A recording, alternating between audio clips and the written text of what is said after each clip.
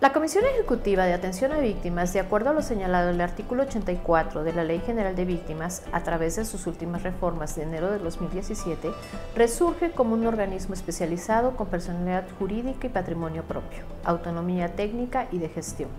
Contará con una Junta de Gobierno para la organización y su funcionamiento, misma que estará integrada por cuatro representantes de las Secretarías de Estado, siendo el secretario de, Gobernación el de mayor trascendencia, toda vez que será quien presida las sesiones que lleguen a ser convocantes. Asimismo, será parte de la Asamblea Consultiva como un órgano de opinión y asesoría de acciones a realizar en las políticas públicas, programas y proyectos que se impulsen,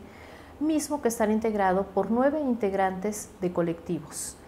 que acompañen a víctimas u organizaciones de la sociedad civil y académicos, que serán electos por la misma Junta de Gobierno cuyo cargo será honorífico y durará un plazo de cuatro años, los cuales pueden ser ratificados por un periodo similar. Sus funciones serán garantizar el respeto y observancia de los derechos y protección de las víctimas emanados de los principios de la propia ley.